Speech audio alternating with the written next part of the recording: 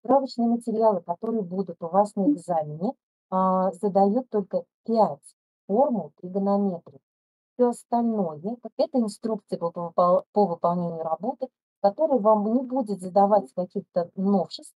В результате вы будете ответы записывать в бланке ответ номер один в виде знак. Один знак – это отдельная клетка. Слева направо, без пробелов, запятых и дополнительных каких-то. Повторяю, в справочных материалах у нас только 5 э, формул по тригонометрии. Тема сегодняшнего занятия 19 сентября – планиметрия. И в планиметрию я включила сегодня задания, которые будут связаны с треугольниками и четырехугольниками. Итак, в первом номере нам предлагается ситуация следующая. Периметр параллелограмма равен 94. Одна, из, одна сторона параллелограмма на 41 больше другой. Просит найти меньшую сторону параллелограмма. Ребят, для начала, а, какая фигура будет называться параллелограмм? Кто помнит? У которой две стороны попарно параллельные и равны. Пары, пары параллельны. То есть само понятие параллелограмм – параллельность. Противоположные стороны попарно параллельны. А вот теперь по свойствам здесь равенство уже начинается. Какие равенства у нас есть? Противоположные стороны Да. равны. Точно. То есть у нас АД и БЦ, Антон, Антон будут какими? Равными. И Еще. АБ и ДЦ тоже равными. Великолепно. И дальше сказано, периметр 94. Одна сторона параллелограмма на 41 больше другой. Мы с вами помним по закону математики, какой элемент нам удобно принимать за x. Не всегда, но удобно. Наименьший. Точно, это наименьшее. Мы с вами выбираем, например, сторону АБ, пускай она будет наименьшая, а дальше другая на 41 больше. Значит, BC, получается, соседняя сторона будет x плюс 41. Все, собираем периметр. И снова длин всех сторон. x складываем с длиной стороны BC x плюс 41. Дальше перескладываем с x и x 41, x плюс 41. То есть мы с вами берем два раза одно и то же. И получается наш периметр 94. Мы с вами видим, что все уравнение и левую, и правую часть можно разделить на 2, тем самым себе упростить. В левой части получается x плюс x, 2x, в скобках плюс 41. Переписали, все у нас в левой части скобки исчезли. И 94 пополам получили 47. В результате 2х это 6, и x будет равен 3. x будет равен 3. Все, ответ мы с вами получили. В ответе мы записываем единственное число 3. Готово. Следующий номер 2. В номере 2 нас просят найти площадь треугольника, две стороны которого равны 50 и 20, а угол между ними равен 30.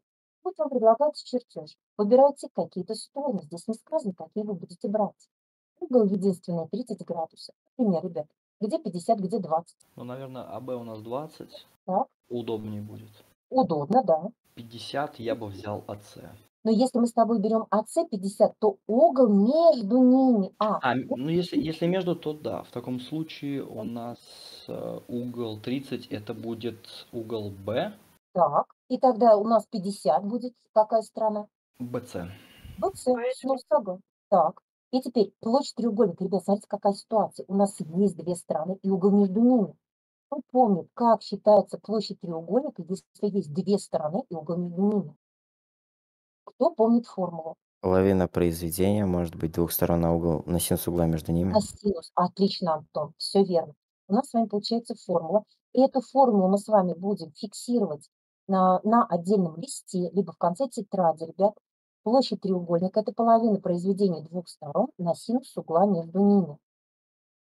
То есть в нашем случае мы получаем половину произведения двух сторон – это 20 и 50, и синус 30 градусов в это произведение тоже входит. Синус 30 градусов практически все знаете наизусть. И ваша обязанность это знать наизусть. Сколько это будет?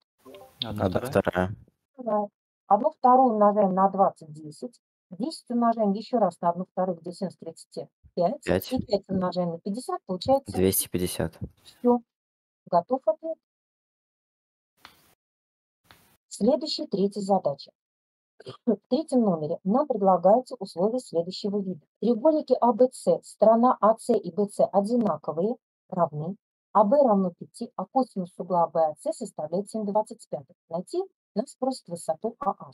В этом случае мы с вами прекрасно понимаем, что ни о какой фигуре здесь не имеет, э, вернее, нет. А, для этого нужно сначала составить чертеж. Треугольник. Вид треугольника. Равнобедренный. Логично, точно. Значит, две стороны будут равны. Все, построили равнобедренный треугольник. То есть у нас с вами получается АС и BC равны, нормально. По условию АБ равно 5, дальше угол BAC, находим BAC, угол составляет косинус угла 7,25. Определили угол, с которым работаем, работаем, но для а, дальнейшей работы, ребят, у нас все подсказки, свойства равнобедренного треугольника. Углы а, при основании равны. Точно, готово, молодцы, ребят. Нас просят найти высоту АА. Значит, из вершины А на сторону BC мы всегда смотрим противоположную сторону, проводим высоту. Получаем отрезок АH перпендикулярен BC. Нас интересует именно отрезок AH. Ну и теперь рассуждаем. Коли у нас треугольник равнобедренный, значит угол А, в данном случае по чертежу я уже не имею права назвать угол А одной вершиной, так как при вершине А уже три угла. Значит, мы с вами говорим, что угол САБ составляет точно такую же градусную меру, как и угол B. Откуда взяли? Из свойства а, равнобедренного треугольника. Раз углы равны, значит косинусы тоже будут какими между собой? Равными. Точно. Косинус угла BAC будет равен косинусу угла B. И это тоже будет 7,25. Так, все. А почему мы с вами направляемся в, в угол B? Ну, чтобы высоту потом найти AH. Из какого? Из какой фигуры? Из треугольника AHB. Логично. Если мы с вами рассматриваем треугольник AHB, а это прямоугольный треугольник, как вы будете рассчитывать косинус угла B в этом треугольнике, ребят? Вспоминаем по определению, что такое косинус. Это отношение прилежащих. делить на b. Великолепно. А теперь прошу внимания. Я всегда прошу и требую даже своих учеников начала потому что на второй части, когда мы будем выходить, да и, собственно говоря, в первой части у нас с вами будет очень важное условие. Что же такое косинус или что же такое синус по определению? По определению у нас с вами начало есть косинусом острого угла и прямоугольного треугольника. То есть, ребята, мы с вами не забываем, не зря вы с учителями уже использовали формулы приведения когда вы гнали из любой координатной четверти градусной меры только в первую координатную четверть, дабы получить угол острый. Поэтому синус, косинус, тангенс и так далее мы с вами сдаем острого угла прямоугольного треугольника. Мы находим острый угол именно в прямоугольном треугольнике. Я прошу на это сделать акцент для себя. Итак, в данном случае вы правильно говорите, что отношение. Но это у нас с вами получается косинус острого угла. Угол B действительно острый. Прямоугольного треугольника. И действительно мы попадаем с вами в прямоугольный треугольник ABH за счет высоты.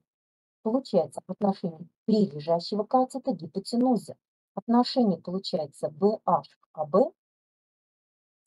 Исходя из данной пропорции, мы с вами имеем, что косинус это 7 25 BH мы не знаем, оставляем без изменений, а вот AB это 5. Из данной пропорции что вы можете посчитать? BH. BH. То есть мы с вами видим, что а, если получается, ну, насколько здесь на 5 можем левую часть, вернее правую часть умножить, чтобы знаменатели были одинаковые, да? Да, у нас знаменатели получается одинаковые, и левой и правой части 25 и 25. Значит, 7 и BH умноженное на 5 будет то же самое. То есть 7 это BH, который умноженный на 5. Отсюда BH составляет 7 пятых. Но наша задача найти AH. Как? Теорема Пифагора. Логично.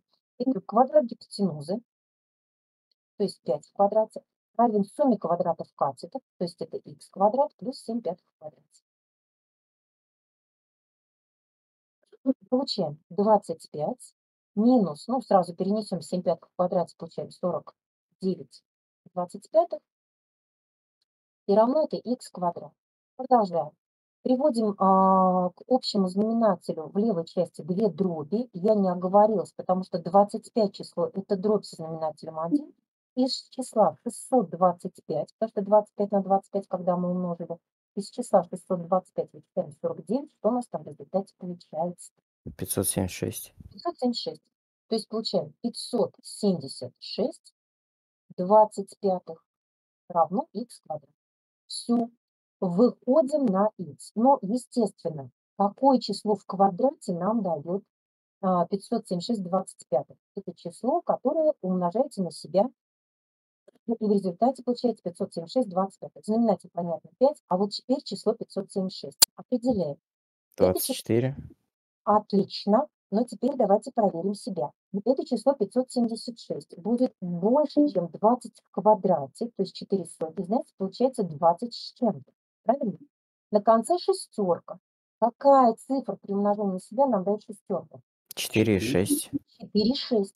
Поэтому мы с вами должны проверить 24 умноженное на себя и 26 умноженное на себя.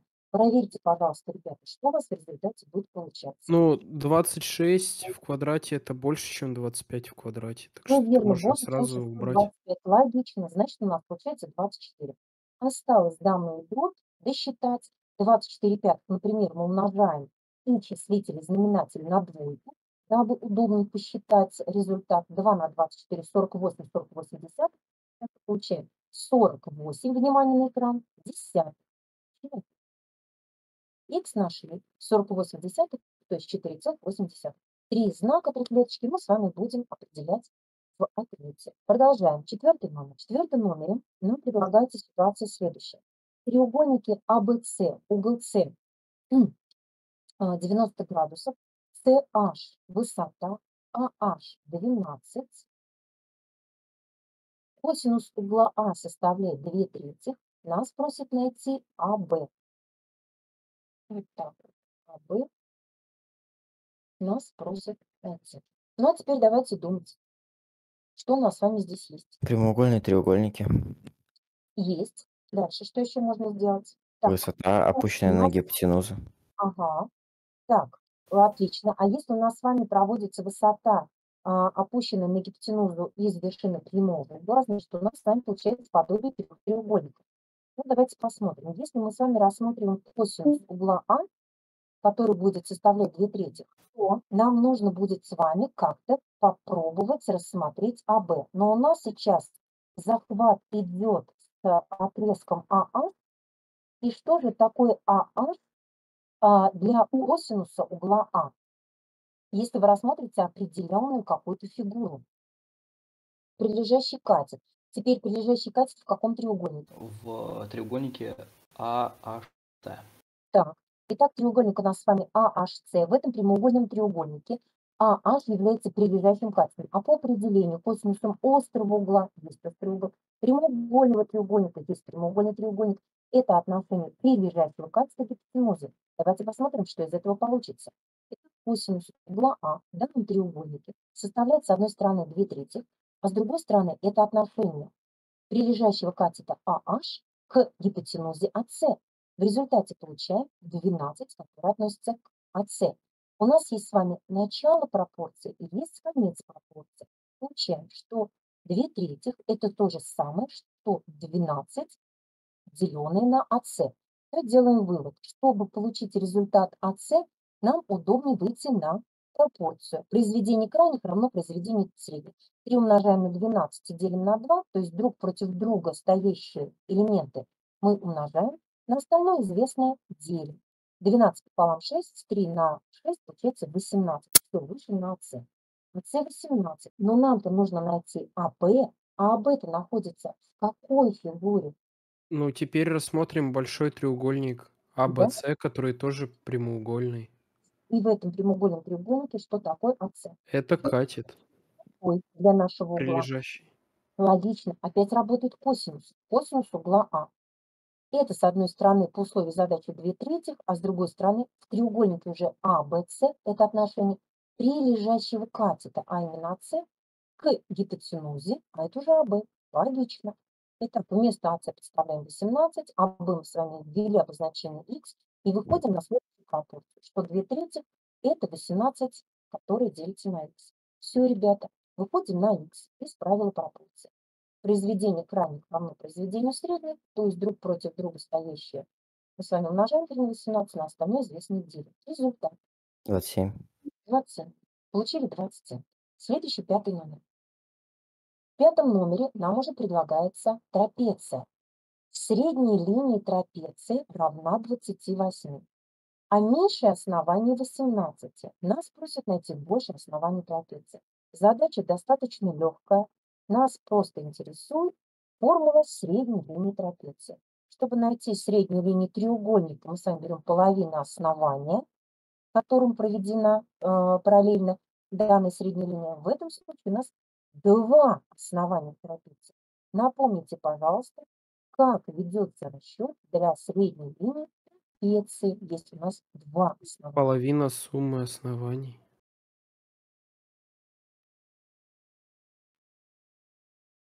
Средняя линия у нас 28, меньше основания 18, а b неизвестно. Все подставляем. Получаем 28 равно числителю. 18 плюс x и в знаменателе на 2.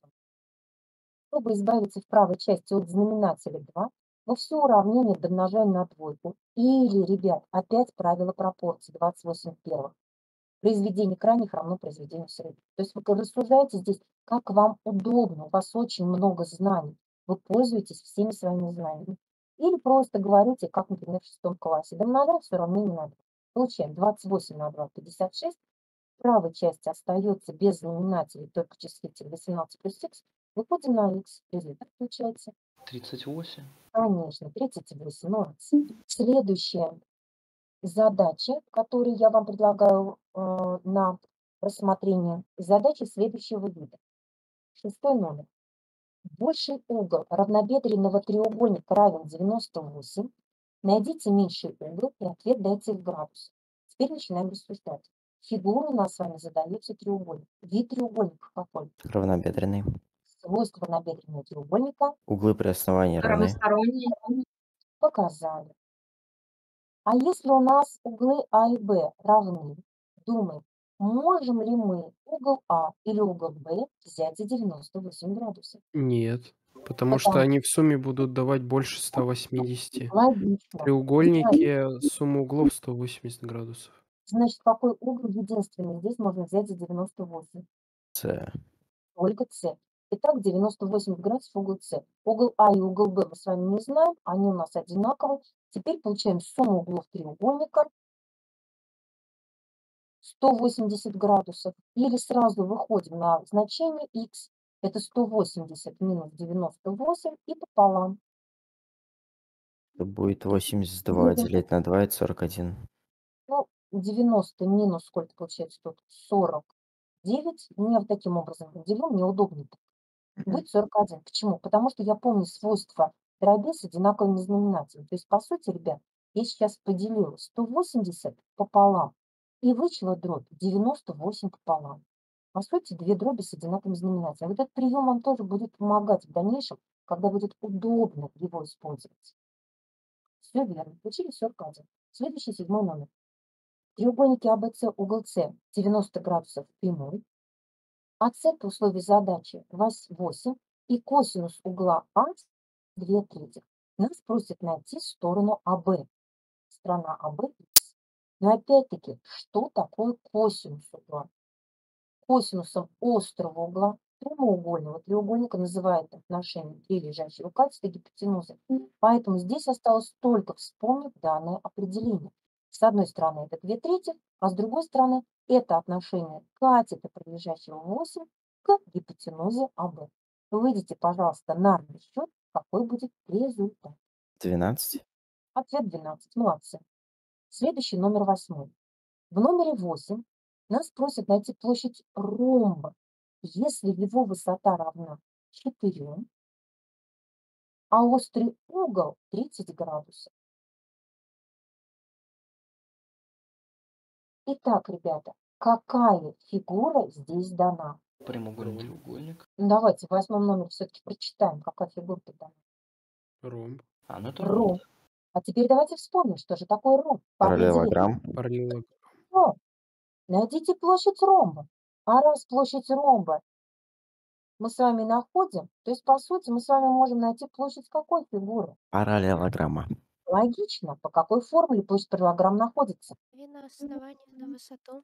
Умница, все верно. Мы с вами берем произведение оснований на высоту, которые проводятся к этому основанию.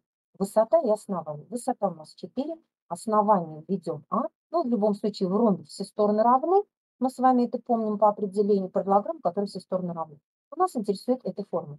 А еще, ребят, вы уже записали себе формулу, не помню, в какой задаче сегодня уже расписывали, когда вы находили а, площадь треугольника, знали две стороны и угол между ними. Ведь, по сути, у нас с вами ромб, который делится диагональю на два треугольника одинаковых. Что за формула? Половина произведения двух сторон на синус угла между ними. Вот гамму возьму. А теперь посмотрите, что нам предлагается. У нас есть сторона А у ромба. Есть сторона другая у ромба, но эти стороны между собой какие? Равные. Равные. То есть вместо Б пишу А. У нас синус угла между ними. Сколько градусов? Одна в 30, 30 градусов. 30 градусов, синус 30 градусов. Сколько таких треугольников нам предлагается в ромбе за счет диагонали? Два. Два. То есть мы с вами говорим, чтобы получить площадь ромба, мы с вами можем использовать две площади треугольника, которые рассчитываются как половина произведения двух сторон на синус угла между ними. Мы с вами выходим на расчет задачи, используя формулу вида. С одной стороны, сторона А умножается на высоту, а она у нас известна по условию задачи 4, равно правой части 2 умножить на 1 вторую, это будет единица, а умножить на А, А квадрат, синус 31 вторая. Значит, делаем вывод. Все уравнение мы с вами можем домножить на двойку, чтобы избавиться от знаменателя в правой части. И получаем 8а равно а квадрат. Теперь все переносим в левую часть данного уравнения, получаю уравнение вида. 8а минус а квадрат равно нулю. Ребят, теперь как решить данное неполное квадратное уравнение? Вынести А за скобки. Все верно. Общий множитель за скобкой. И теперь сколько у нас с вами получается здесь решений, когда произведение равно нулю. Два. Первое. Когда А равно нулю. Дальше. Когда А равно Когда 8. 8 минус А равно нулю. Или 8 минус а равно нулю. Все верно. Произведение равно нулю, когда один из множителей, или первый множитель, или второй множитель равны нулю. Первый множитель а равно нулю. Сторона равна нулю. Такой может быть? Нет. Нет, потому что у нас есть ромб. Известна какая-то длина стороны. У нас нуля не будет, потому что ромб существует. Значит, исходя из второго а, уравнения, а будет равно чему? Восьми. Восьми. Сторону нашли. Смотрим. Нас просят найти площадь ромба. Теперь выбирайте любую формулу. У вас две. Либо а на h, либо одна вторая, которая умножается на 2 на а квадрат синус 30. Как найти площадь ромба? С2. Сторона на высоту. Все верно. Вы а умножаете на h. А это 8. Высота по условию задачи 4. 8 на 4 – 32. В ответе у нас с вами получается 32. Готово. Вот можно же было, например, а, побыстрее сделать, когда вот, вот это прямоугольный треугольник и А сторона, ты которая взял слева, а она, то есть катит лежащий против угла 30 градусов в районе половины гипотенузы, то есть а мы сразу нашли бы 8. Хотя логично, да. В прямоугольном треугольнике Так было бы быстрее. 30 Да, это было бы намного быстрее. Против угла в 30 градусов, все, я увидела. Сейчас, секундочку. Сейчас, ребят, смотрите, второй способ. Второй способ. То есть мы с вами берем треугольник. Сейчас мы с вами его выделим. Прямоугольный треугольник. Раз, два, три.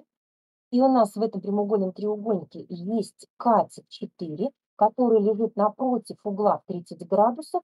Он половина гипотенузы, значит гипотенуза 8. Все. И осталось только посчитать 8 на 4, 32. Еще один способ. Великолепно. Теперь следующее задание.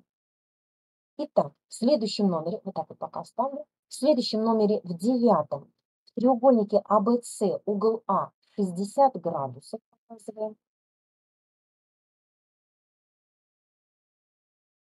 Угол Б 82 градуса.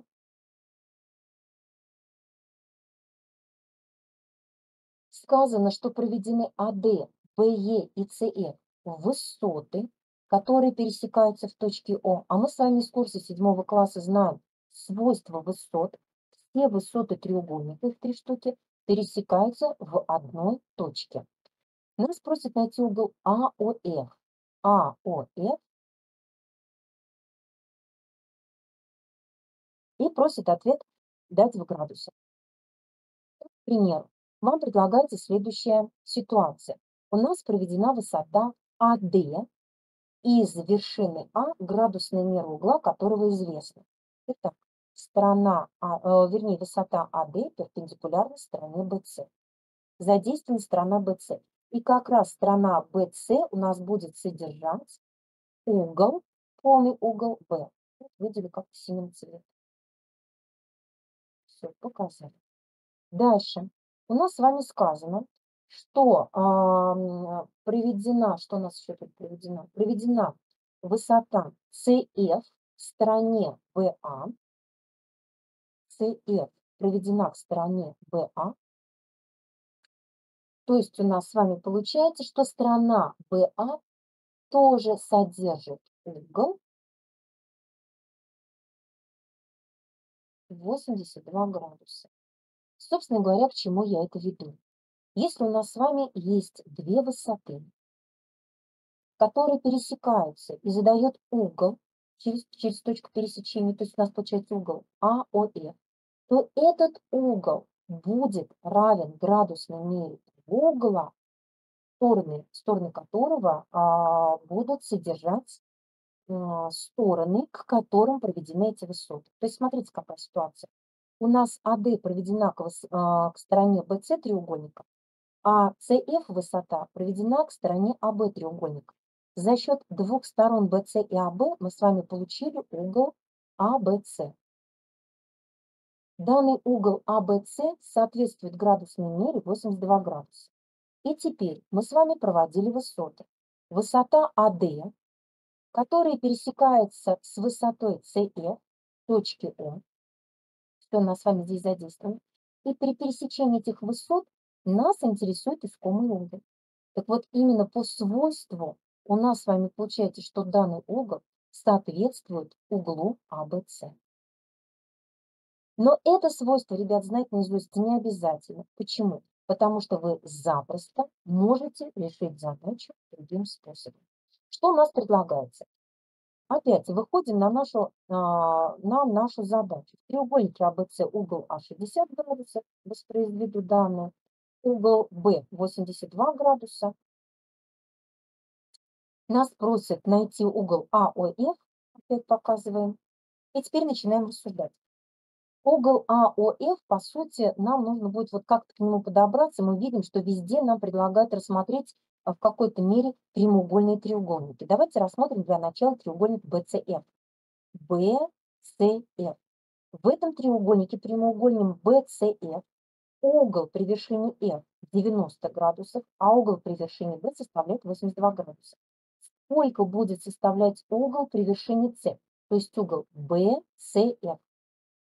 8. 8 градусов. Логично. Но если угол BCF в данном треугольнике составляет 8 градусов, то этот же угол будет у нас еще и в треугольнике ODC. Какой это треугольник ODC? Прямоугольный. Значит, угол COD сколько будет градусов? 82. 82. Что вы можете сказать про углы COD и AOF? Они вертикальные. Значит, они Равные. все 82 градуса. То есть таким образом вы тоже можете вести расчет. Вас никто не заставляет учить дополнительные какие-то свойства. Если вы знаете, молодцы. Если не знаете, вы можете за счет ваших знаний вертикальных, смежных, присоединяющих, соответственно, это тогда любовь, вы можете выйти на грамотный правильный расчет. Итак, у нас с вами получается прямая, которая проводится боковой стороне трапеции через конец меньшего основания. Меньшее основание у нас с вами получается BC верхняя. Через вершину B проведена прямая BE, значит параллельно CD. Напомните мне, пожалуйста, что такое трапеция по определению. Трехугольник, у которого основания параллельны, а боковые стороны Не параллельно. Неправильно. То есть две стороны параллельны, две другие не параллельны. И как раз две параллельные стороны, в данном случае AD, будут называться основанием. Логично. А теперь смотрите, какая ситуация. У нас с вами проведена дополнительная прямая BE, которая параллельна CD. У нас получается, что BC, AD параллельны, BE, CD параллельны. Что это за фигура такая BCDE? Параллелограмм. По определению молодцы. Значит, делаем вывод. BC и DE равны. Свойства параллелограмма учитываем. BE и CD тоже между собой равны. Готово.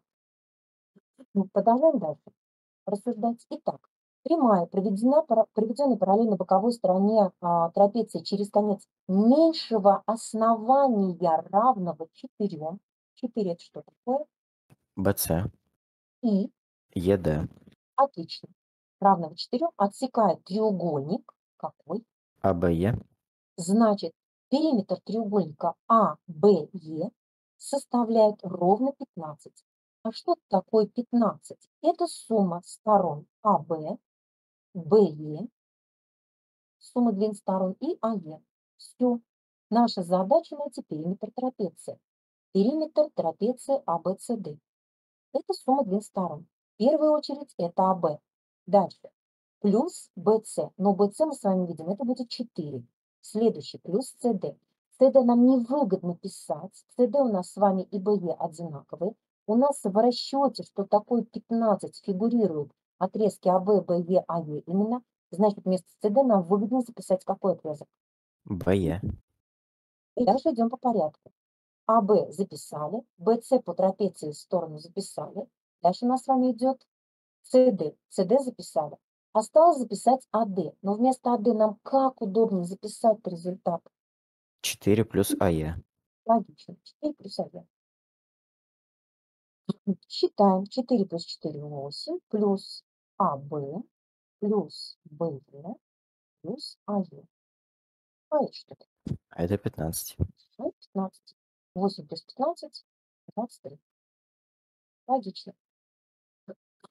Так, следующее задание, 11.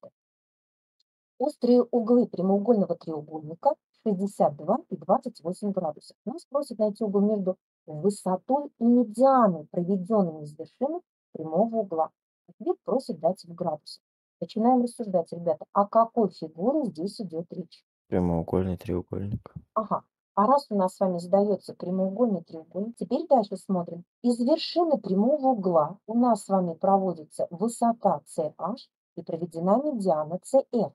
А теперь напомните мне, пожалуйста, что значит медиана треугольника? Делит Прям- противоположную сторону пола. То есть какие отрезки будут равны? АФ и ФБ. Логично. Так, углы 62 и 28 градусов. Но здесь по чертежу видно, что угол А будет меньше, поэтому его обозначим как 28 градусов. Угол Б чуть побольше на чертеже, пусть будет 62 градуса. Теперь следующий момент. Нам нужно найти угол между высотой медианы, то есть угол CHN. Вот этот угол будем искать. Начинаем рассуждать. Угол CHN является частью какого угла? Нет, а почему нам же нужно найти угол FCH? Ой, конечно. Да что ж я тороплюсь, ребят. Конечно же. Т- Да у нас FCH. FCH. Между гипотену, о, извините, между медианой и высотой. А, угол FCH. Теперь начинаем рассуждать. У нас с вами задается угол FCH, он является частью какого угла? АЦ А это сколько у нас получается градусов? 90. То есть нам нужно будет из 90 градусов вычесть дополнительные какие-то градусные измерения. Например, какую фигуру здесь удобнее рассмотреть и уже какую-то градусную меру выделить. Прямоугольный треугольник CHB Угол BCH чему будет равен? 28. 28. Итак, треугольник BCH прямоугольник, значит угол HCB считаем 90 градусов минус 62, получаем 28 градусов. 28, да. Так, получили 28. То есть нам нужно будет вычесть 28 градусов. И еще угол АЦФ. Вот теперь начинаем рассуждать. Угол АЦФ в какую фигуру нам задает, ам, задает внимание? Прямоугольный треугольник ACH может быть. Так, и что мы здесь будем делать? Треугольники АЦH. прямоугольном треугольнике медиана равна половине гипотенузы. У нас Умница, треугольник А в С. молодец. Теперь, ребят, посмотрите на экран. В шестом классе вы выполняли практическую работу следующего вида. Вы рисовали окружность. Дальше вам говорили, ребята, отметьте на окружности две точки, которые будут вам задавать диаметр. Вы проводили диаметр. И дальше вам говорили, отметьте теперь на окружности любую какую-нибудь еще точку. Вы отмечали точку. И далее следующая процедура. Концы диаметра, соединив с данной точкой, определите вид получившегося угла. И вы все хором говорили 90 градусов. Почему? Потому что в данном случае а, у нас с вами получается диаметр является гипотенузой прямоугольного треугольника. Даже вспоминаем теперь девятый класс или восьмой, честно говоря, уже забыла, когда вы, восьмой класс, когда вы рассматривали вписанные центральные углы. Ведь по сути, если мы с вами введем обозначение P, R, K, треугольник PRK, то угол PRK будет являться вписанным, который опирается на дугу PK, который составляет 180 градусов. То есть это половина градусной меры окружности. Вся окружность составляет 360 градусов. Но если вы возьмете центр окружности точку О, и вы находитесь, вы, на, вы рассматриваете центральный угол ПОК, который составляет 180 градусов. И вы помните, что центральный угол – это градусная мера дуги, на которую он опирается, то есть 180 градусов. А описанный угол – это половина дуги, на которую он опирается. Вот получается наши 90 градусов. Молодец, Юль. Отлично. Значит, делаем вывод. Если у нас с вами, так, давайте еще раз. Раз у нас с вами получается, что в нашем случае медиана проведена из вершины прямого угла, медиана CF является радиусом описанной окружности около треугольника нашего ABC, и точка F в нашем случае будет центром описанной окружности. Отлично. Теперь рассматриваем ситуацию. Что у нас? CF, AF и BF между собой отрезки равны, в силу того, что они будут являться радиусами описанной окружности, то как будет называться треугольник АФС по своему полученному виду? Равнобедренный. А по свойству равнобедренный треугольник углы при Ровный. значит, угол АЦФ тоже будет составлять 28 градусов. 28. Да, да, и вычитаем еще 28 градусов. Считаем, ребят, 90 минус 56. 34. Получаем 34. Готово. Так, следующий номер у нас с вами какой там получается? 12. Итак, в 12 номере нам предлагается две стороны параллелограмма, которые относятся как 1 к 4. А периметр 30. Нужно найти большую сторону параллелограмма. И опять ситуация. У нас с вами задается отношение сторон. То есть, например, сторона АД относится и к, а, для этой стороны берем смежную сторону, в данном случае DC. Почему не можем взять, например, противоположную? Потому что они равны по определению, вернее, по свойству параллелограмма. И теперь отношение пусть будет 1 к 4, значит, если сторона АД у нас будет меньше, значит 4 мы умножаем на АД, будем получать сторону DC. Например, сторона DC у нас с вами а, считается как АД умноженное на 4, АД пусть будет х, значит DC 4х. Или раз у нас задается отношение 1 к 4, то вы, ребята, привыкли, наверное, большинство работать через части. Пусть, например, x сантиметров, дециметров, километров приходится на одну часть. Значит, на 4 части приходится 4 сантиметра и так далее. Ну, в данном случае мы с вами уже ввели обозначение x и 4x, и теперь собираем периметр. x плюс 4x. Дальше точно такая же ситуация, потому что 4 стороны, или просто могли бы умножить все это на 2, равно 30. В результате 10x равно 30, и получаем, что x будет равен Трем. 3. Все верно. Но нас просят найти большую сторону. 12. 12. 4 умножаем на 3 будет 12. Следующая задача. Сторонами 8 и 4 проведены высоты к этим сторонам. Смотрим на рисунок, который нам предлагается. У нас проведены высоты АК к стороне BC и CH к стороне AB. Значит, одна сторона будет 8, например, я беру АБ, и вторая получается BC 4. Итак, у треугольника со сторонами 8 и 4 проведены стороны к этим сторонам. Готово. Высота, проведенная к первой стороне. Соответственно, читая слева направо, первая сторона имеет длину 8. Значит, она будет по условию задачи первой.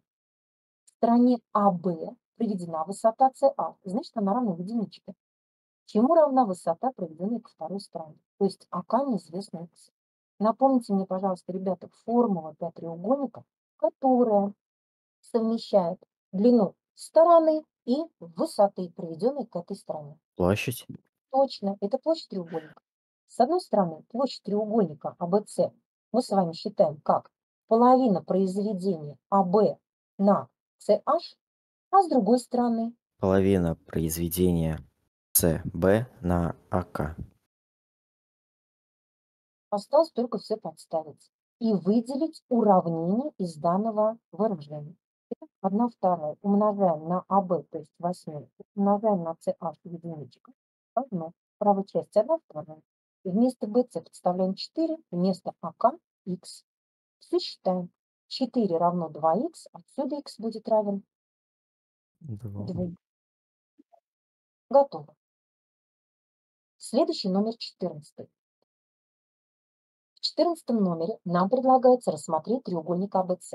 При условии, что АС и БЦ равны, для себя сразу треугольник значит углы при основании равны, отлично. Угол С составляет 120 градусов, и сторона АБ два корня из трех. Нас просят найти АС, пусть это х.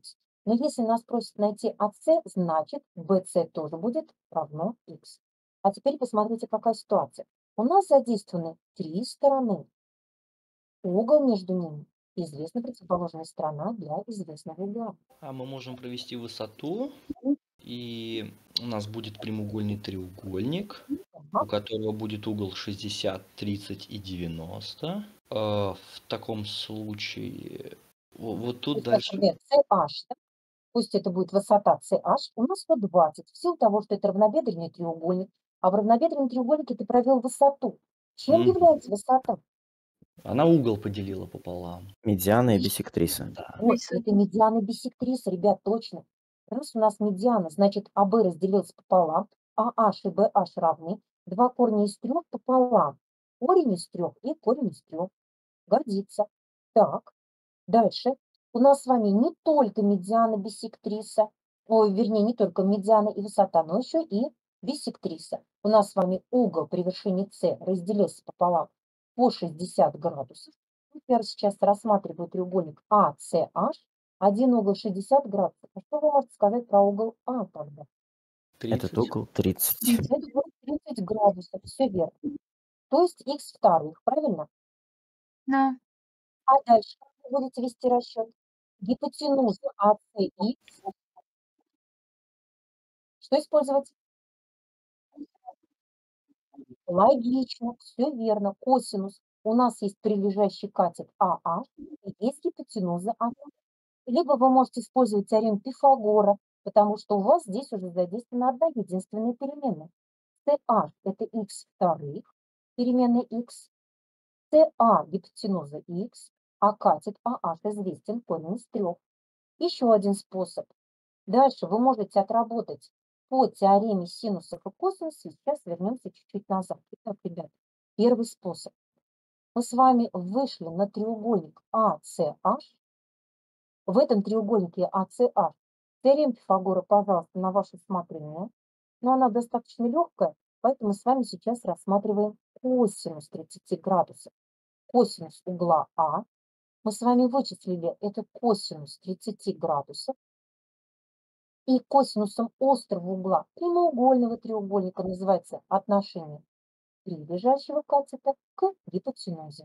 Все, из данного выражения выделяем уравнение. Косинус 30, помним, это, Корень из трех ладно. на 2. конечно, корень из трех на 2, молодцы. Равно, что такое AH? Мы уже с вами видели. Корень из трех. И что такое AC? Это x. Делаем вывод. Отсюда x чему будет равен? 2. Ответ будет 2. Теперь следующий момент. Сейчас эту же задачу, ребят, рассмотрим немножечко в другом ракурсе. Смотрите.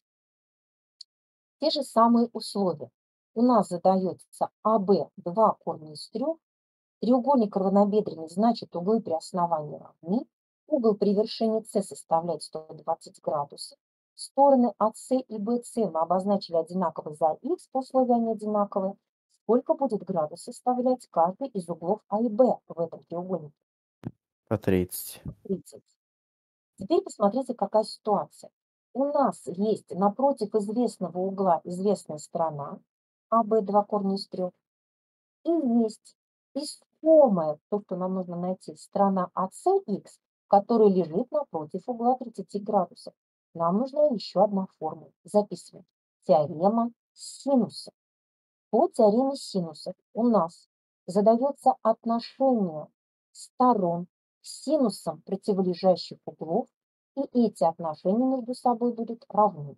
Треугольники. Стороны берем АБ, БС и АС. Дальше задаем синусы углов. Напротив стороны АБ задается синус угла С. Напротив стороны БС задается синус угла А. И напротив стороны АС лежит угол Б, поэтому задаем синус угла Б. Но это не вся формула. Окончательный ее вид получаем равным 2r. То есть диаметр. Диаметр какой окружности описаны? Мы с вами помним, что радиусы обозначая заглавной буквой R, это радиус описанной окружности, то что она больше как бы получается. А вот в формулах задается для радиуса вписанной окружности в какую-либо фигуру. Вот эту формулу, ребят, себе еще куда-то запишите, этой формулой можем пользоваться. Ну а теперь в нашей ситуации мы с вами берем первую, например, часть, пропорцию берем, нам достаточно только составить уравнение. Вместо АБ подставляем два корня из трех, в нашу формулу. Синус С – это синус 120 градусов. Дальше все это равно BC, то есть у нас с вами получается x, который относится к синусу А. Синус А составляет синус 30 градусов. Значит, исходя из правила пропорции, два корня из трех мы должны умножить на синус 30 градусов и получаем точно такое же проведение, как x умножается на синус 120 градусов. 2 корня из 3 умножаем на 1 вторую, и все это равно х, который умножается на синус 120. Вспоминаем, что значит синус 120. Это синус 60. Там, по-моему, 180 минус 60, и мы через синус 60, если не ошибаюсь. Ну вот я вам специально ввожу сейчас единичную окружность. Почему единичную? Потому что радиус будет равен единице. Верно? Теперь начинаем рассуждать. У нас с вами здесь задаются в единичной окружности две точки отсчета. Параллельно будем вспоминать а, некоторые моменты а, из геометрии, алгебры и так далее. У нас с вами есть две точки отсчета. Первое начало – это начало координат. Точка О с координатой 0, 0. Следующее начало это точки на окружности. И первая точка задает 0 градусов. Почему? Потому что, ребят, как вы в начальных классах, вспомните, пожалуйста, своего первого учителя. Первый учитель вам объясняет, ребятки, вы в начальных, вы в начальных классах, первый, второй класс, мы с вами читаем всегда слева направо, от нуля, и, на едине, и получается на числовой прямой вы вкладывали числа 0, 1, 2, 3 и так далее. То есть вы работаете всегда сначала в положительном направлении оси абсцисс. Мы там привыкли, договорились и уже запомнили. Теперь у нас на единичной окружности задается точка 0. Почему? Потому что это 0 градусов, в радианном измерении это точка 0. Скажите, пожалуйста, здесь какие координаты у точки 0? 1, 0, все верно. Точка 0 с координатами 1, 0. Дальше мы с вами отрабатываем 90 градусов, но в радианном измерении вы знаете, что 90 градусов это сколько через пи? Пи на 2. Пи на 2, молодцы, пи на 2. У точки пи на 2 какие координаты? 0,1, все верно, 0,1. по оси абсцисс 0 сначала мы работаем, потом по оси ординат. А дальше в девятом классе вы ввели обозначение. Что такое ось абсцисс, синус или косинус, что такое ось ординат. Итак, что такое ось абсцисс? Косинус или синус? Х Это косинус. угла, да, это косинус альфа. А ось ординат это, это синус альфа. Все верно. Вспомнили, ребят. Теперь дальше. Нас интересует 120 градусов. Вот мы с вами от нуля идем. От нуля дугу делим на три одинаковые части, получаем 30 градусов, первый угол. Дальше 60 градусов, 90 градусов. И в результате выше на 120 градусов. Вот наши 120 градусов. Теперь смотрим, что же такое синус. А синус – это ось ординат. Вот она у нас ось ординат. Вот сюда мы вышли. У точки в 120 градусов. Вот наш угол в 120 градусов. Смотрим, ордината чему равна? Вы сразу делаете вывод. Ордината будет равна синусу 60 градусов. 120 и 60 – это одно и то же. Вспоминайте здесь координаты по синусу. От нуля мы с вами идем вверх до единицы. Какие у нас с вами получается здесь координаты? Синус 30, ребят, сколько будет? Одна вторая. Вот здесь у нас одна вторая. Дальше у нас с вами получается синус Если 40. синус 30, то одна вторая. Да, синус 30, одна вторая. Вот у нас получается координата по синусу одна вторая. Синус 60 это корень из трех на 2. Вот и все. То есть мы с вами делаем вывод, что для π третьих, что для, здесь получается 120 градусов, 60 градусов и 120 градусов, положительные координаты получаем корень из 3 на 2. Значит, для вывода, ребят, нам нужно с вами повторить единичную окружность. Я так понимаю, что большинство работаете, скорее всего, не по единичной окружности, а по таблице. Я э, угадала или нет? Ну ладно, разберем. Ну, я даже не Ну, логично. проходил, то единичную окружность еще. Ну все, ребят, значит, я вам это все подробно объясню. Договорились. Итак, корень из трех на три. Готово. И теперь начинаем работу. Два корня из трех умножить на одну вторую, в результате получаем корень из трех. И в правой части x, который умножается на корень из трех вторых. И левую и правую часть делим на корень из трех и домножаем на 2.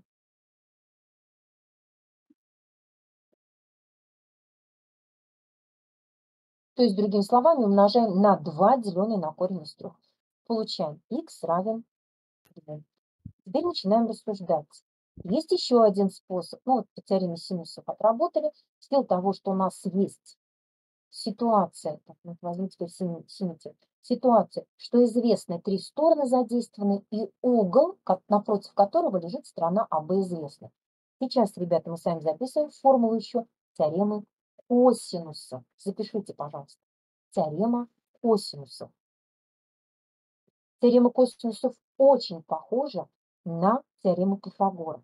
Но единственное только мы с вами говорим, что квадрат гипотенузы равен сумме квадратов катетов, а я в этом случае задействовала квадрат не гипотенузы, то есть не c квадрат пишу как а квадрат плюс b квадрат, а квадрат любой стороны треугольника, любого треугольника. А, Квадрат стороны – это сумма квадратов двух других сторон без удвоенного произведения этих сторон на косинус угла между ними. Делаем вывод. Если у нас с вами задается сторона А, напротив нее лежит угол А. Нас интересует угол С, значит, нас интересует сторона напротив лежащей АБ. Получаем по формуле.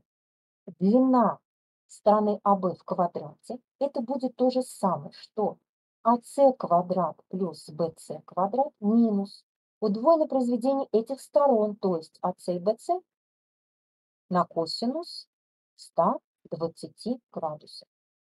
Так, все считаем. АБ у нас с вами 2 корня из 3 по формуле в квадрате равно АС это х, по формуле все подставили, вместо БС тоже х. И косинус 120 градусов. Вспоминайте, ребят, 120 градусов мы точку с вами нашли, но у нас с вами синус, это корень из 3 на 2, у нас получилась точка, да? Корень из 3 на 2. Ну, А вот косинус 120 это отрицательный косинус Молодец. 60. получается Минус одна вторая. Минус 1 Отлично. Мы с вами получаем косинус 120 градусов, это минус 1 вторая. Все считаем. 2 корня из 3 в квадрат, 2 в квадрате 4, 4 умножаем на корень из 3 в квадрате, то есть 3, равно х квадрат х квадрат в сумме 2х квадрат. Дальше считаем. Минус 2 умножить на минус 1 вторую будет знак плюс. Получаем 2 умножить на 1 вторую умножаем на х на х, х квадрат. Все, дальше продолжаем. 12 равно 2х квадрат плюс х квадрат 3х квадрат. Отсюда х квадрат 4 и опять выходим на х, это 2. Вот такая вот ситуация. Еще один способ. Итак, я предлагаю вам следующее задание, которое вы видите на экране. В 15 номере основания равнобедренной трапеции равны 6 и 12. Синус острого угла трапеции известен, он равен 0,8. Но нас просят найти боковую сторону. Фигура нам предлагается. Трапеции. Вид. Равнобедренная. А с равнобедренной вспоминаем свойства равнобедренной трапеции. Боковые стороны равны. Ну, это, это по определению, это да. А вот свойства. Углы Углы при при основании основаниях равны. При основаниях, молодцы, при основании. Верхнее основание DC содержит углы ADC и BCD. Эти углы равны. И при нижнем основании углы А и Б тоже равны. Готово. Итак, Основание 6 и 12. Синус острого угла, а в данном случае мы видим, что острый угол работает либо для угла А, либо Б. Значит, у нас с вами синус будет либо А, либо Б.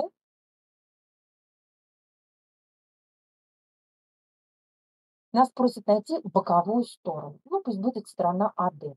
По сути, без разницы, хоть и БЦ. Но что вы можете сказать про треугольники АДH и БЦК? Они прямоугольные. Раз, прямоугольные. Высоты, опущенные с верхнего основания к нижнему основанию, отсекают равные отрезки. Логично. Или, как вы рассуждаете, трапеция – это четырехугольник, у которого противоположные стороны попарно параллельны. О, извините, у которого стороны две стороны параллельны, то есть DC и AB параллельны.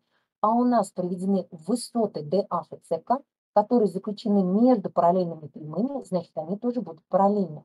Мало того, параллельны, они еще имеют градусную меру 90 градусов.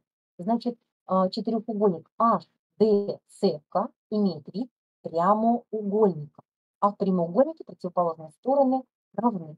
То есть HK равно 6. А что вы можете сказать все-таки про треугольники ADH и BCK? Они, Они какие? равны. Они равны. У нас есть прямоугольные треугольники, в которых одинаковый острый угол и гипотенуза сработал признак равенства прямоугольных треугольников. Треугольники равны прямоугольные по гипотенузе и острому углу. Мы с вами знаем четыре признака. Первый признак – гипотенуза и острый угол – раз, ну, естественно, прямоугольный треугольник. Второй – гипотенуза и катет – два. Третий – Два гипотенуза, катета. а, так, катет, так, два катета, согласна, по катета. И вторая – катет и прилежащий к нему острый угол. Всё. То есть вот четыре признака а, равенства прямоугольных треугольников мы с вами сегодня вспомнили. Ну, а теперь треугольники равны, значит, отрезки АА и БК тоже равны. По 3, все верно. Длину 12 разделили по, рав... по необходимым частям. 3, 6 и 3. 3 плюс 6 – 9, 9 плюс 3 – 12. Все сошлось. Вот теперь вот это вот 12 нам не надо уберу, чтобы не маячило перед глазами. И продолжаем работать дальше. Что у нас с вами сказано? Нас просят найти боковую сторону. У нас известен синус. А в треугольнике ADH, AH, прилежащий к Значит, какой элемент вы можете отыскать в прямоугольном треугольнике ADH? Косинус. Итак, косинус угла А, острого угла прямоугольного треугольника – это отношение прилежащего катета AH равный 3 гипотенузе AD, то есть x. В результате мы с вами получаем косинус – это 3 деленное на x. И все, больше ничего. А у нас синус есть. Еще справочные материалы. Используем основное тригонометрическое тождество. Работаем. У нас с вами получается, что синус квадрат А плюс косинус квадрат А – это единица. Значит, синус это 0,8 нам выгоднее записать. Ну, давайте это вообще так запишем. 0,8 плюс косинус квадрат а равно единице. Так, дальше. Косинус квадрат а отсюда равен 0,36. Сначала, да? 0,36 из единицы вычитаем 0,64. И теперь сам косинус 0,6. Все верно. Подставляем вместо косинуса в нашу формулу 0,6 и получаем уравнение вида 0,6 равно 3 деленное на х. Умножаем все уравнение на х, мы можем умножить, потому что х это какая-то положительная величина, какое-то положительное число. 0,6 равно 3. Все уравнение нам выгодно домножить на 10 и левую и правую часть. И отсюда выходим на х. х равен 5. Ребят, еще такой один момент, на который хотелось бы э, заострить ваше внимание. Скажите, пожалуйста, кто-нибудь из вас увидел ли египетский треугольник? Увидели? А, да, отлично. У нас с вами получается 0,8. То есть у нас задается синус. Посмотрите, по основному тригонометрическому тождеству мы вышли на теорему Пифагора. Получается 8 десятых в квадрате плюс х в квадрате равно получается 10 десятых в квадрате. Откуда я взяла 10 десятых? 10 разделить на 10 единица. То есть у нас получается египетский треугольник 8, 10, и в этом случае получается с коэффициентом подобия 2, 6 десятых. Мы с вами помним, что египетский треугольник содержит длины сторон 3, 4 и 5. А с коэффициентом подобия мы с вами получаем, если берем 2 коэффициент подобия, 6, 8, 10. Вот наш получается 8, 10 есть, значит здесь получается 6. То, естественно, знаменатель 10. Если берем коэффициент подобия, например, 10, то получаем 30, 40, 50. Если берете 3, получаем 9, 12, 15 и так далее. То есть, по, по сути, вы могли увидеть, если 0,8 задается для синуса, автоматически для косинуса 0,6. Ну, в любом случае, это не столь важно. А, самое главное – видеть хотя бы один способ а, правильного решения. Молодцы. Продолжаем работу дальше. У нас с вами следующая задача 16. И в 16 номере предлагаются условия для треугольника АБЦ. В треугольнике АБЦ угол А 44 градуса, Угол С 62 градуса в треугольнике АБЦ. На продолжении стороны АБ смотрим за точку Б, то есть уже синий цвет пошел. Отложен отрезок БД так, что он будет равен стороне БЦ. То есть получили БД и БЦ одинаковые. Нас просят найти угол D треугольника BCD и ответ дать в градусах. Все, ребят, как решаем? У нас угол CBD будет смежным углу CBA, Так, а угол CBA мы можем найти. так. Получается, что треугольник CBD он у нас равнобедренный, следовательно, углы при основании равны, и так мы найдем D. Умница, Анет. А теперь еще давайте вспомним одно свойство. Ведь по сути угол СБД, как ты правильно сказала, угол СБД, он смежный с углом АБЦ. Напомните мне, пожалуйста, если угол у нас СБД смежный с углом АБЦ треугольника, какие углы у нас будут не смежные? Угол САБ и АЦБ. Точно. А мы с вами помним свойство внешнего угла. Внешний угол равен сумме углов треугольника и смежных с ним. Считаем. 44 и 62 в сумме. Сколько будет? 108. 106, наверное, да? А, 106, да. 106. Или вот как Анют правильно ты сказала, 180. Из 180 мы вычитаем 44 и 62, получаем 74. Но эти 74 мы все равно будем использовать из 180 по смежным углам вычитать. И получаем 106. Все, ребят, мы с вами попали в треугольник BCD. Они правильно нам сказали, треугольник равнобедренный. Значит, в этом равнобедренном треугольнике углы при основании равны боковые стороны уже задействованы BC и BD, они уже отмечены. Остается основание только CD. При основании углы равны. Все считаем. 180 минус 106 пополам.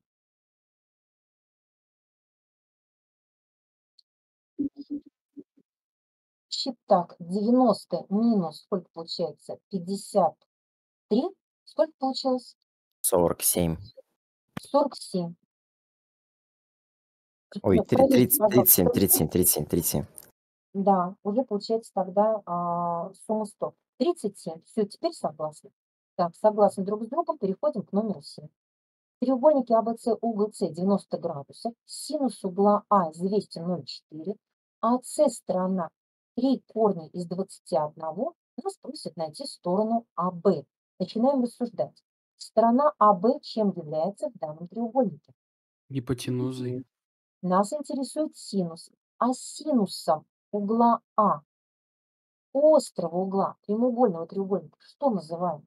Отношение противолежащей стороны гипотенузы. Катет гипотенузы. Все верно. С одной стороны. Ну, а с другой стороны, BC – это катет. АС известный катет прямоугольного треугольника, а Б гипотенуза. Скажите, пожалуйста, какой формулой у нас с вами объединяются катеты и гипотенузы прямоугольного треугольника? Теорема Пифагора. Точно. Квадрат гипотенузы равен сумме квадратов катета. То есть 3 корня из 21 в квадрате плюс bc в квадрате. Из данной формулы мы с вами можем выделить как раз катет bc. И у нас получится формула, содержащая только одну единственную переменную x. Смотрите, ребят, что получается. x квадрат равен 9 умноженное на 21 плюс bc квадрат, я пока ничего больше не делаю. Все, что с bc я оставляю в левой части, то есть bc квадрат. Правую часть я записываю все, что у нас переносится в предыдущем уравнении в левую сторону. В левой стороне у нас x квадрат и переносится произведение, которое имело положительный знак. При переносе получается знак отрицательный. Все, по законам математики мы все сохранили.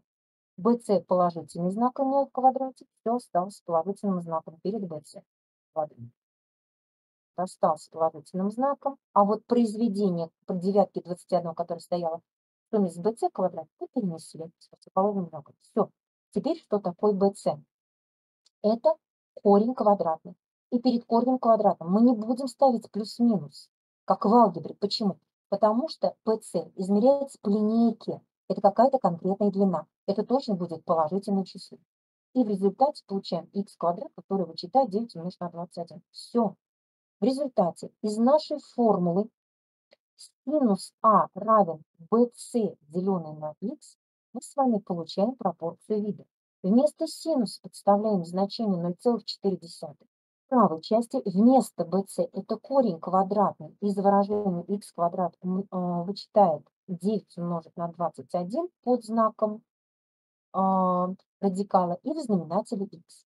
Теперь решаем. Мы здесь спокойно все можем возвести в квадрат с учетом того, что работаем с положительными числами. И x никогда не будет отрицательным числом и нулем. И нулем. Это какая-то длина, сколько-то конкретно сантиметров, миллиметров, километров и так далее. Итак, возводим в квадрат, получаем. Так, ну, 4 десятых, наверное, удобнее представить как 2 пятых. 2 пятых – это 4 двадцать пятых в квадрате, правильно? 4 десятых мы с вами сократим. Правильно. Да, в квадрат возвели. В Тут ведь чистая математика. Да, в правой части получаем x квадрат минус 9 умноженное на 21 в числителе и в знаменателе x квадрат. Все, работаем дальше. Произведение крайних по пропорции равно произведению средних. Считаем. 4 мы умножаем на x квадрат равно 25 мы умножаем и на x квадрат, и 25 мы умножаем на произведение 9 и 21. Дальше. Все, что с x нам выгодно отправить в правую часть уравнения, а вот это произведение с отрицательным знаком в левую часть. Получаем 25 умноженное на 9 и на 21 в левой части, а в правой части 25х квадрат минус 4х квадрат, 21х квадрат. Теперь вы меня понимаете, почему я не умножала оттянула все время произведение. Ребят, почему? Чтобы сократить, может быть. Конечно, все уравнение разделили на 21. И у нас остается в левой части произведения 25 девятки, а в правой части x квадрат. Все, выходим на x. Что такое x? Какое число в квадрате нам дает 25? Пять. Пятерка. И Пять девятку какое? Да, и в результате получаем. Все, задача решена. Нас просили найти x, а, b. Нашли, получили 15. То есть такие вот нехитрые моменты, не торопясь перемножать и получать огромные числа, старайтесь выходить грамотно из положения. Да, у нас получается некрасиво. 9 нужно умножить на 21, потом на 25. И куда годится? А попробуйте сохранить вот это произведение, дальше грамотно все упростили, и себе сделали проще, и правильно решили, и самое главное, выиграли время. Ну а теперь следующий номер 18. В 18 номере нам предлагается треугольник АБЦ, в котором известно, что АС и БЦ равны, АБ сказано, что будет равно 8, и синус угла БАЦ 0,5. Нас просят найти высоту АА. Смотрим, о какой фигуре опять идет речь. Свойства вспоминаем, все верно, равнобедренного треугольника. Если стороны АС и БЦ равны, Углы при основании равны. показали сразу у себя в тетради молодцы. АБ у нас с вами все верно. И синус угла BAC у нас с вами задействован. Нас просят найти высоту AH. Значит, из вершины А мы с вами опускаем высоту, получается, на противоположную сторону, противоположная сторона BC. И теперь делаем вывод. Если у нас угол А и угол Б равны, значит синус угла BAC будет равен синусу какого угла? ЦБА. АБЦ Все верно. Это то же самое, что синус угла b. Это 0,5. Выгоднее показать как 1 вторая. А из треугольника прямоугольного ABH, где угол b острый, как считается синус? Отношение противолежащего угла гипотенузе, то есть AH к 8 или X к 8. Точно. Из треугольника AHB, прямоугольный треугольник. Все, выходим на пропорцию. У нас с вами получается в правой части x делится на 8, значит в левой части нам нужно и числитель, и знаменатель домножить на 4, чтобы получить одинаковый знаменатель. x отсюда равен 4. 4. Логично. Итак, x4. Логично. Да, молодцы. Следующий 19 номер. Нас просят найти площадь ромба, если его диагонали равны 4 и 12. Ребята, для того, чтобы мы с вами вспомнили, как найти площадь ромба, используя диагонали, я прошу открыть, а, открыть ту часть вашего, вашей тетради, где вы записываете формулы. И сейчас нарисуйте произвольный четырехугольник.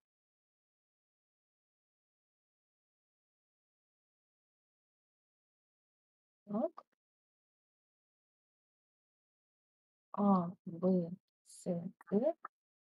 Так, и проведем с вами диагонали. У нас диагонали. Ага, вот теперь уже более нормально. Так, диагонали проведены. Диагонали пересекаются в какой-то точке. Ну, пусть это будет точка О. Синим цветом ее обозначу. И теперь начинаем рассуждать. У нас с вами находится площадь любого четырехугольника по формуле половина произведения его диагонали на синус угла, так, на синус угла между этими диагоналями. Назовите мне любой угол между диагоналями. БОЦ, БОЦ или СОД или АОД, СОД или АОБ. любой угол берете, какой вам захочется. Я беру, например, угол СОД. Почему мы смело можем сказать, что синус любого угла? Это потому что мы с вами сегодня только вспомнили, что синус, например, 60 градусов и 120 градусов у нас получается одна и та же величина. Ведь по сути, если мы с вами обратим внимание, 120 и 60 одинаковые получаются результаты для синуса, а ведь в сумме они дают 180 градусов. Или, например, 30 и 150 градусов. Опять синусы этих углов будут равны. И в сумме 30 и 50, и 150 тоже будет 180 градусов. Смотрите, смежные углы. БОЦ и СОД. Дальше. АОД и БОА и так далее. А ведь на самом деле, если вы рассматриваете пару углов, БОА и СОД, они вертикальные, вертикальные углы равны. БОЦ и АОД тоже вертикальные углы, они тоже равны. Все здесь нормально. Какой бы угол вы ни взяли, будет правый.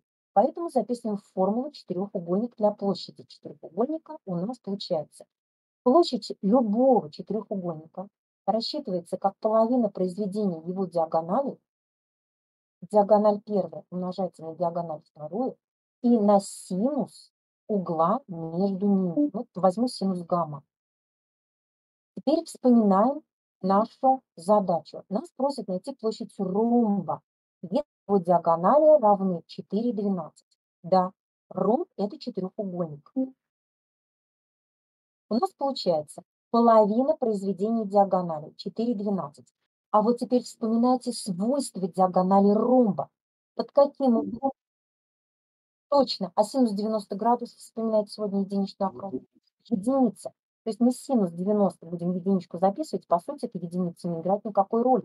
И вы, многие из вас, записывали. Чтобы найти площадь ромб по диагонали, нужно взять половину произведения этих диагоналей. Все, получаем ответ 24. Ребята, есть ли вопросы на сегодняшнее задание, а, занятие? А почему у нас синус альфа единичка? А, потому что у нас с вами задается для ромба синус 90 градусов. Почему? Потому что по свойству диагонали ромба, вспоминаю, как вы ромб строите. Если будешь проводить диагонали, то диагонали у нас с тобой взаимно перпендикулярны. А раз взаимно перпендикулярны, то угол между ними сколько будет составлять? Вот у нас получается угол между диагоналями 90 градусов. Увидел? Это свойство, которое, а, которое мы с вами изучили в восьмом классе по миллиметре. Даже вот когда ты строишь ромб, элементарные диагонали провел, они получаются перпендикулярно. Логично? Да. Да.